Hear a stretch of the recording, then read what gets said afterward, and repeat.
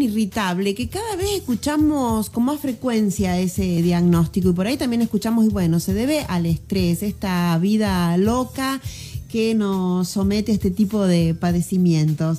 Bueno, pero ahora, ¿se puede superar a través de la alimentación o cómo debe ser una dieta equilibrada? Le damos la bienvenida a un especialista, la licenciada en nutrición Marcela Bernardi de Gastromed. Marcela, bienvenida. Gracias, Ani. Buenos días. Cada vez hay más diagnósticos de colon irritable. Cada vez hay más y uno de, las, de, los disparadores, lo que vos dijiste, el estrés, el sistema nervioso, es uno entre tantos, ¿no?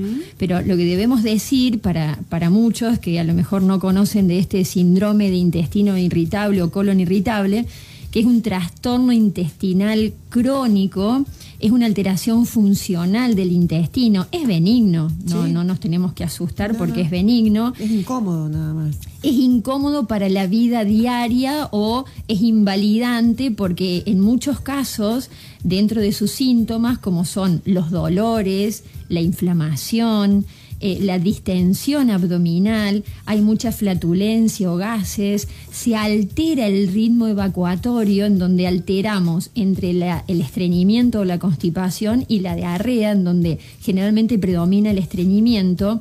Pero mm, eh, en eso también muchos pacientes te cuentan ese estado que hablábamos recién de angustia, medio depre, solo lo podemos diagnosticar a través de los síntomas que te cuenta el paciente, porque si vos le haces el examen físico al paciente, les haces exámenes de laboratorio, les haces estudio de colon, da todo normal.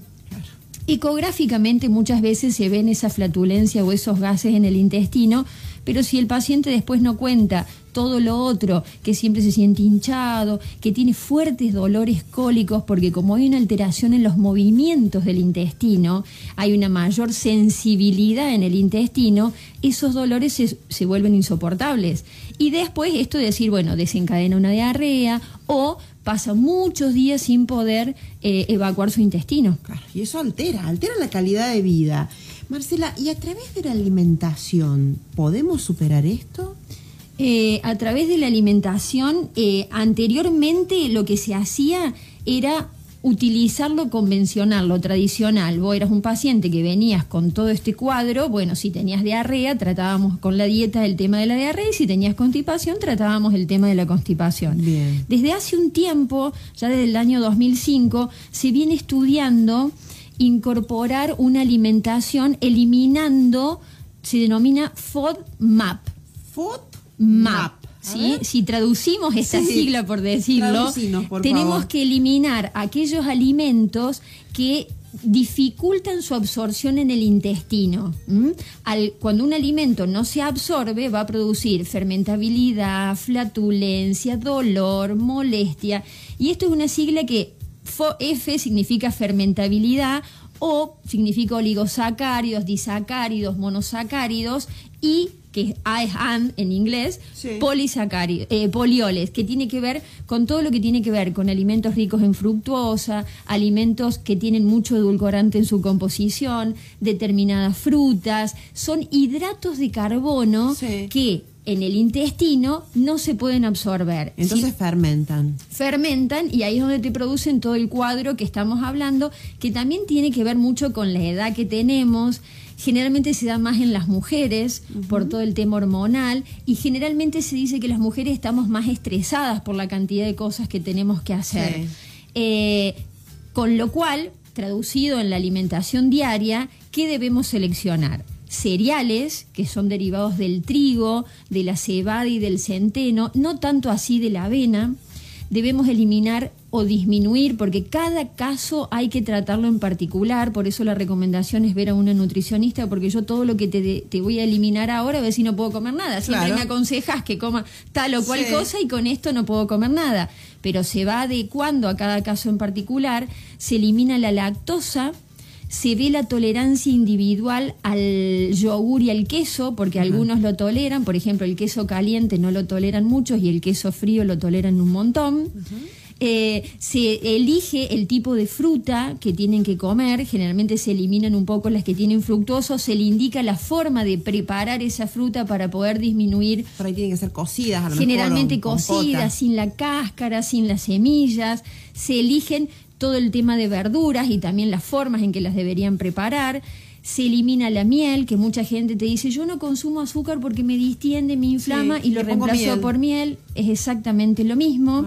Se elimina el café, el alcohol y ojo con los edulcorantes porque hay muchos edulcorantes que producen una hipersensibilidad en el intestino y yo me estoy cuidando con la verdura, con la fruta, con la leche y utilizo mucho edulcorante no solo en las infusiones, sino que consumo bebidas con edulcorante, dulces. Cualquier tipo de edulcorante. Son los edulcorantes que tienen, hay que saber leer la etiqueta, que nosotros en el consultorio se lo indicamos, que tienen sorbitol, manitol, que son estos polioles que habla la dieta FODMAP, ¿me explico? Ah, Generalmente el que tiene hace el sulfame de potasio, o bueno, no puedo decir algunas marcas, pero eso se pueden utilizar perfectamente. Nosotros le damos el listadito por marcas y la gente los elimina y te dice, eliminé el edulcorante y con eso ya solucioné el problema. Y me está, lo que pasa que tiene mucho que ver esta parte emocional, siempre lo hablamos.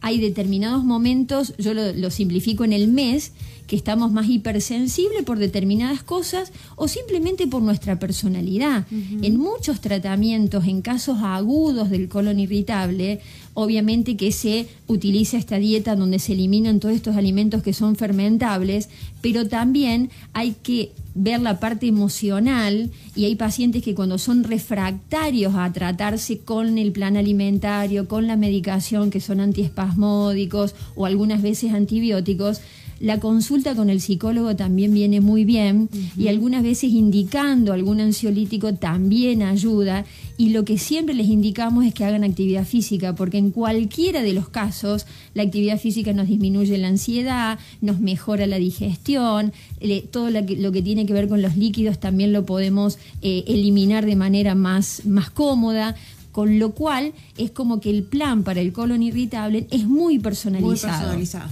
La dieta esta que te estoy contando, que se denomina FODMAP, em, está muy estudiada y verdaderamente los pacientes se alivianan muchísimo, muchísimo, muchísimo. Te iba a preguntar, ¿es posible superar el colon irritable? Generalmente no tiene una cura, porque como es algo funcional, de pronto hoy yo hice una comida copiosa, y voy a tener un, un, cuadro de colon irritable. Generalmente nos vamos a ir a México y nos vamos a comer un choclo caliente con manteca en la playa y no nos hizo nada y llegamos acá y comimos un puré de calabaza y nos generó un cuadro de dolor. mejor el irse a México y estar de vacaciones. Estás en otra, estás totalmente relajada no aparece ninguna de la sintomatología. Por eso es muy personal. Y lo que nos cuesta a los seres humanos a medida que pasa el tiempo es entender que debemos ir cambiando nuestra alimentación, porque también nuestra personalidad se va hipersensibilizando.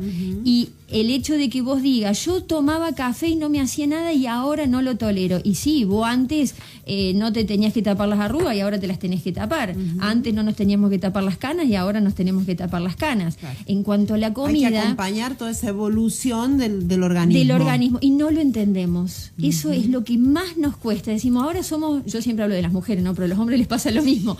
Llegamos a la menopausia y ahora yo ya no bajo porque soy menopáusica. No, vos no bajás porque no querés cambiar tu alimentación en base a esa etapa hormonal que vos estás atravesando y que la vamos a atravesar todas. Ese tema, Marcela, lo tenemos que tratar porque lo piden las mujeres. Sí, sí, cómo no. Menopausia y qué pasa que no puedo adelgazar. Sí, sí, pero podemos adelgazar hasta el último día de nuestra, de nuestra vida que nunca vamos a ver cuándo es. Así es. Pero lo que nos cuesta es cambiar esto de entender que no envejecemos por fuera.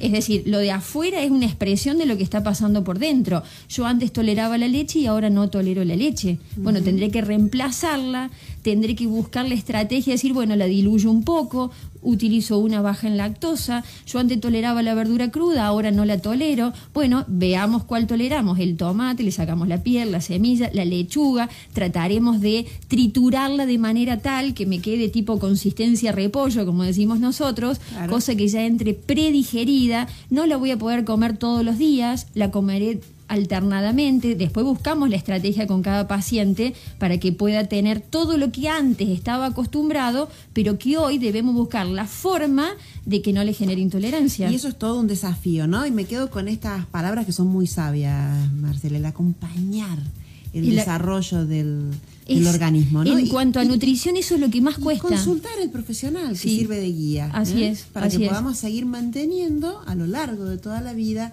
la calidad de vida. Exactamente. Marcela, muchas gracias. No, gracias le, a vos. recorda- le recordamos a la gente que te encuentran en Gastromed, Gastromed. la dirección, el teléfono. Rioja 252 y el teléfono es 4621-517. Muchas gracias, Marcela. Gracias a vos.